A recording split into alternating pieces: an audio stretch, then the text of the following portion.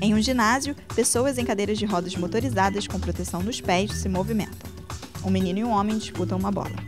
Meu nome é Ricardo Souza, sou biólogo, tenho 30 anos e desde os 15, quando eu sofri um acidente de carro, que eu tenho uma lesão medular. Desde o ano passado, que eu, junto com alguns amigos, é, fundamos a Associação Brasileira de Futebol em Cadeira de Rodas, que tem como missão é, promover o esporte também chamado de Power Soccer ou Power Share Football no Brasil. A ideia surgiu depois é, de conhecer o esporte pela internet, ver que é um esporte maravilhoso que inclui pessoas que não têm nenhuma outra possibilidade de praticar esporte ou até de, de so, se socializar. E pela constatação que existiam é, mais de 10 países já praticando há, há, há 20 anos esse esporte, que é o futebol, só que em cadeira de roda.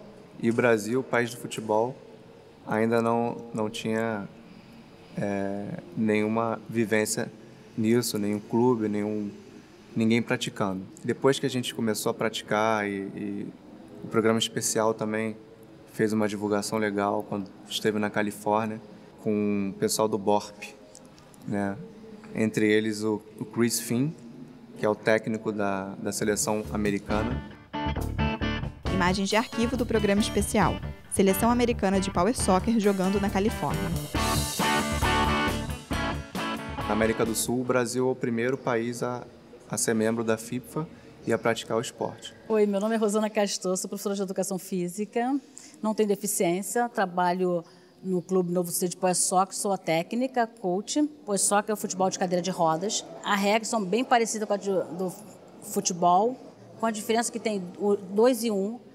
É, quando um jogador está com a bola, não pode dois do adversário em cima desse jogador. A bola ela tem 35 centímetros e 14 polegadas. A cadeira não pode passar de 10 quilômetros também. São três na linha e um no gol. A quadra é uma quadra de basquete. O tempo é de 2 de 20, com intervalo de 10 minutos. Meu nome é Nena Gonzalez. Eu sou diretora do Instituto Novo Ser e coordenadora desse projeto Clube Novo Ser de Power Soccer. O Power Soccer é uma modalidade paradesportiva de futebol em cadeira de rodas. Ele é praticado por pessoas com deficiência mais severa, sempre com cadeira motorizada. Com relação à segurança, um critério realmente muito grande nesse futebol é que os atletas utilizem uma faixa de segurança. Para quê? Para que no momento de impacto, ou lateral, ou frontal, ou mesmo por trás, ele, se ele cair para frente, ele não caia da cadeira. É, em alguns casos, dependendo do comprometimento, também é usada uma faixa nas pernas ou mesmo no braço.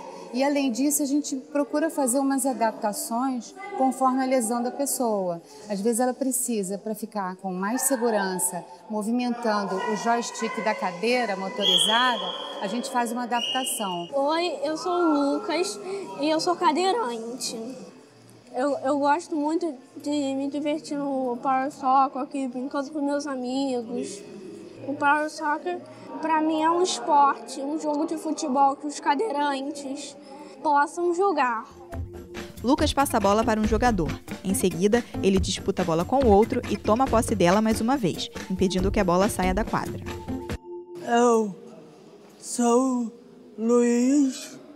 Eu sou hemiplégico, eu estou me sentindo bem em fazer parte do time. A emoção é muito grande de fazer amigos, estar tá jogando ao mesmo tempo. Um aprende com o outro.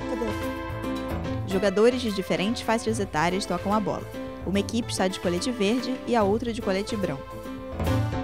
Eu me chamo Cláudia, tenho 42 anos, sou jogadora agora de Power Soccer e a minha deficiência é por conta de uma doença chamada amiotrofia músculo espinhal. Jogar é um prazer assim, é difícil de descrever. Eu creio que seja o mesmo espírito para uma criança de 5 anos, 7 anos, ou 30, 40, eu acho que não importa. Na hora em que a gente fica em contato com a bola, que entra na quadra, é, a adrenalina, a vontade de fazer gol, toda aquela empolgação é muito gostosa e é uma espécie de abstração. A gente esquece o trabalho, esquece a vida e se concentra no jogo. E o grande barato do Power Soccer é, essa, é o aumento do limite da possibilidade da prática do próprio futebol, que é uma paixão nacional e está no nosso sangue, né, e a união né, com a a superação da deficiência. É seguro, é dentro da técnica, tem muita gente aqui para amparar, para ajudar, fora o calor humano, quer dizer, não tenham medo, venham, se aventurem. Se não usa cadeira eletrônica e tem uma graninha, compra uma cadeira e entra aqui na equipe que vai, com certeza não vai se arrepender. Lucas, que é da equipe branca, passa a bola para Cláudia, que a deixa escapar. Um jogador adversário toma a bola, passa para outro da equipe verde, que vai em direção ao gol, que é feito por dois cones paralelos.